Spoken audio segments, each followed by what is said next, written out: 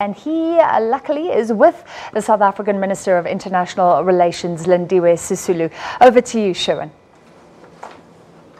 A fatigued journalist and I believe a fatigued international relations minister, Francis. It's been a long week here in New York. The president, of course, returning to South Africa yesterday morning, arriving, arriving uh, this morning, I understand. Uh, but the minister's still in town. And as you correctly point out, uh, a very important bilateral earlier today with the United States Secretary of State, Mike Pompeo. Of course, a lot to unpack. They will both be in the Security Council. Of course, the issue of President Trump's tweet uh, was also discussed. The minister is my guest right now. Uh, ma'am, good to see you and thank you you again for the opportunity. pleasure.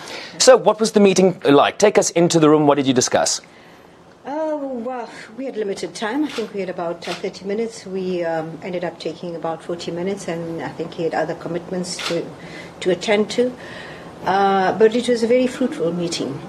And uh, we did most of the talking.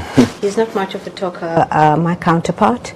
Um, uh, we started off with the normal pleasantries and um, how's the weather and uh, warming up to each other. And uh, then I indicated to him what uh, my concerns were. My concerns were that uh, there is a perception out there that we have a frosty relationship. And we have a responsibility to show that we do not have a frosty relationship. You called it unfortunate at the beginning of this trip.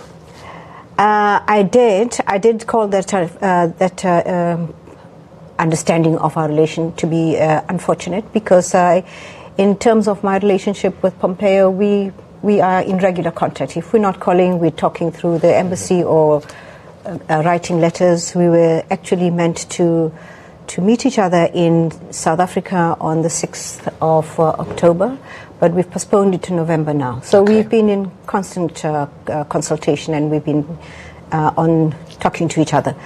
And he explained that uh, he has no idea where this uh, r- idea comes from, but he remains very committed to making sure that we have a very good relationship.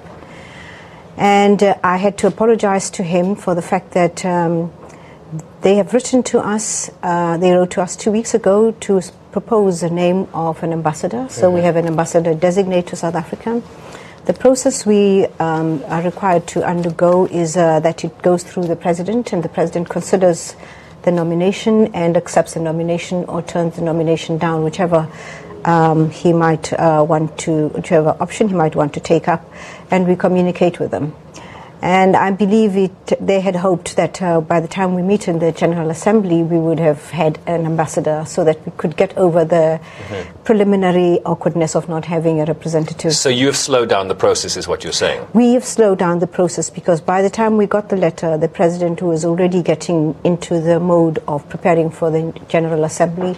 So all other official uh, correspondence was put on hold. So Did, did the land question come up? I mean, the, the tweet, and there was a bit of discomfort over that uh, Yes, tweet yes, from the president. what did you yes, say to it- him?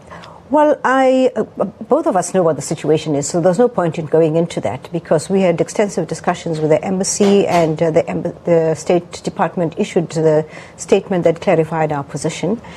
However, he did say that uh, he thought that uh, we needed to pay attention to explaining our po- position on the land issue. So I agreed. We're very eager to do that. The president has been doing that throughout the time that he was here. Uh, and uh, if it pleases the American business person who has uh, interest in South Africa, we would hold a seminar here. We would, uh, we, the, the ambassador was there, and he very readily agreed. We would hold an, uh, an, a seminar in South Africa. For us, the land issue is the most open, uh, you know, negotiation we've ever had in history. Um, and uh, It's a transparent process, and that's the extremely- point you were extreme- making, right? Extremely open and transparent, extremely uh, accessible to all. And uh, if there are any uh, business people, um, American business people doing business in South Africa, we are open to discuss with them. Let's talk a But bit we'll about- Put, up- we'll put up a, a, a special uh, seminar for them. Uh, we are very eager to do that because uh, this is a constitutional responsibility. It's not just that we wish it to be so. It's a responsibility. Everything that is set out in the Constitution is a responsibility of a particular government to carry through. And we have slowed down over the last 23 years in doing exactly that which we are required by the Constitution to do. And uh, we need to make sure that we can pick up pace now, now that the processes have started and concluded. Did they have a view on the changing of the constitution, which is one possibility that the president We has been speaking about? No, I think what the president has been saying is we've got to put it at the back of our mind that uh, we, we are willing and ready to change the constitution. We haven't got to that point. We're still taking um, the views of the people, and uh, when, it, when if we feel that the sec- section 25 needs to be amended, then the ANC has taken a decision. We haven't got to that, so we didn't discuss that matter with uh, uh, with my counterpart. We just discussed broadly what his uh, views were uh, and uh, what the views he felt of the American investor is, and we are very open to discuss the matter. The United, Now- the United States has been on record about countries that don't support their positions at the United Nations. I'm curious to know, given that South Africa and the United States have ag- disagreed on a number of issues at the do, I UN, mean, we- we what, did, what, what has he asked from you in terms of your, uh, your, your membership of the Security Council beginning on the 1st of Now, January? we have agreed that we're going to discuss the Security Council matters, and uh, he is chairing the Security Council for now. And uh, we've agreed that we'll set aside a time for us to discuss issues uh, on, on the agenda of the Security Council. I have issues too that I would like to put on the agenda, just that now we're not uh, formally a member of the Security Council. But if they can begin to think about what it is that we would like to bring on the table, um, we would be very grateful.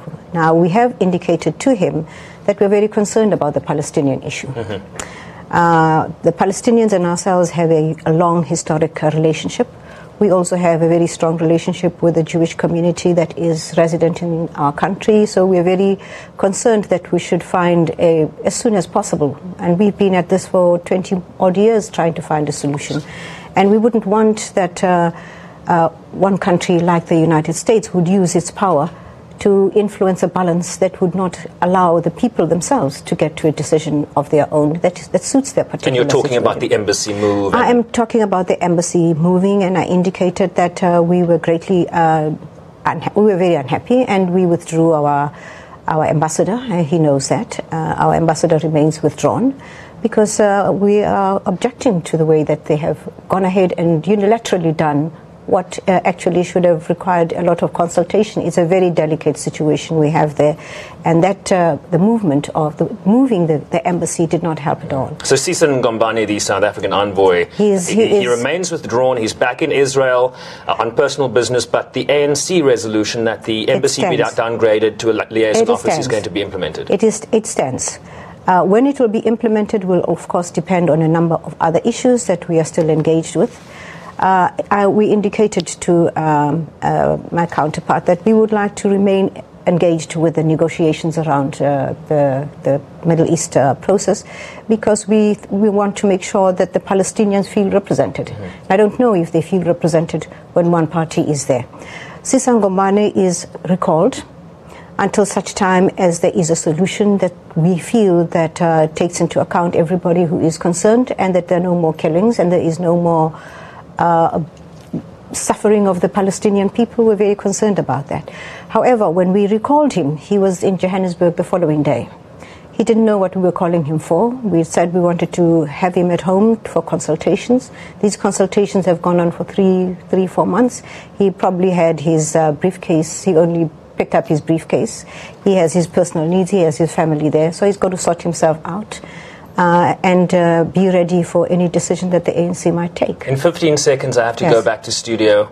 Your assessment of this visit in its totality. In its totality, I think it was an outstanding visit. I think that uh, starting off with the Mandela Summit, it was absolutely outstanding. I pointed out to my counterpart that we missed the voice of President Trump at Mandela Summit. I think it was a missed opportunity uh, because Nelson Mandela is a world icon that nobody could ever undo. And celebrating him in New York the way that every other head of state did. Uh, made it a bit awkward that we didn't have a representative of uh, the American government there. Madam uh, International Relations Minister, good to see you. Thank you for speaking with us exclusively here on SABC News. You heard it first here. The uh, Minister of International Relations, Lindiwe Sisulu, very happy with what they've achieved uh, during this visit. She is staying through the weekend, her work here not done. And I promise to get you the name of that uh, ambassador designate uh, that will be replacing Patrick Gaspard almost two years into the Trump presidency. We'll be working on that. Stay tuned to SABC News. Back to you in studio. Thank you very much. Uh, Sherwin Bryce Pease uh, talking to uh, our Minister in New York, Lindiwe Sisulu.